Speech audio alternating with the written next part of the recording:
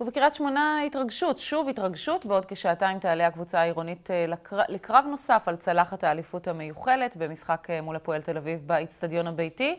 רן בר מעוז כתבנו כבר נמצא באיצטדיון. ערב טוב, רן.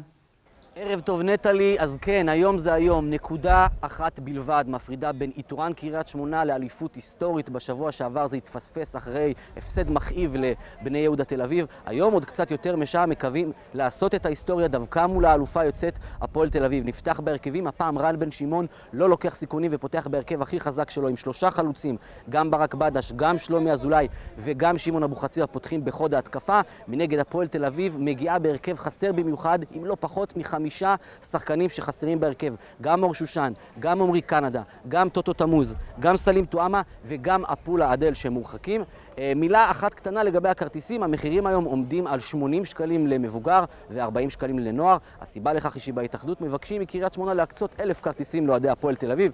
איזי שירצקי, ובצדק צריך לומר, מפחד מהשתלטות המונית אדומה גורפת על היציעים ולכן מעלה את המחירים. זה כמובן לא הפריע לאוהדים הרבים של קריית שמונה להגיע. למי מהצופים שלנו שרוצה להגיע אז כדאי שיעשה את זה מהר כי הכרטיסים האחרונים נמכרים.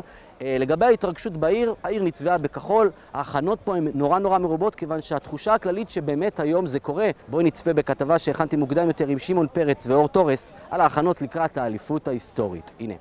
1-0 לבני יהודה וקריית שמונה תצא להתאפק עוד קצת. את המשפט הזה בדיוק מפחדים לשמוע היום בקריית שמונה שוב.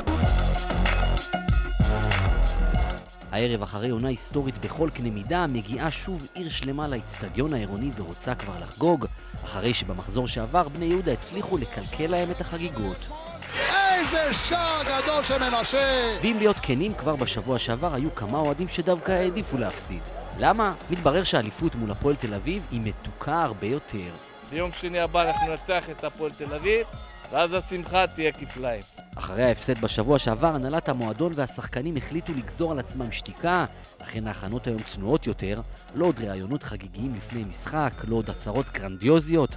אנחנו ניתן את הגול הזה שייתן לנו את האליפות בעזרת השם.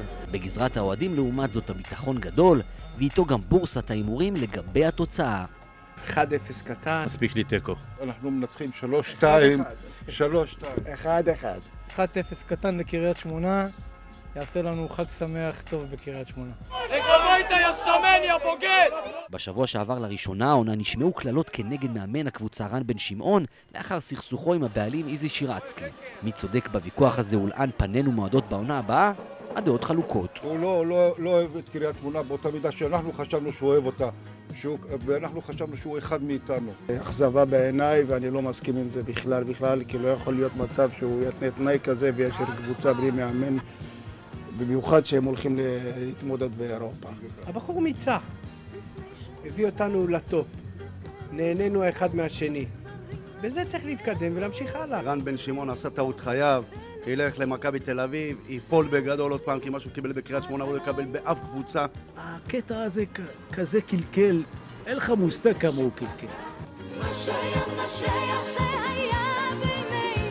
נתון נוסף שמפתיע הוא מחירי הכרטיסים למשחק הזה.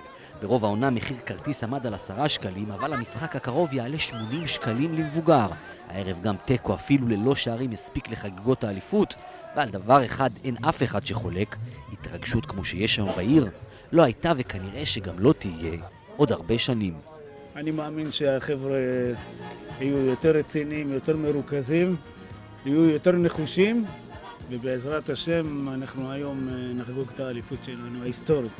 הכנו את השמפניות, הכנו את, את, את, את כל החגיגות כבר שבוע, שבוע שעבר. מקווה שזה יצא לפועל השבוע. הלילה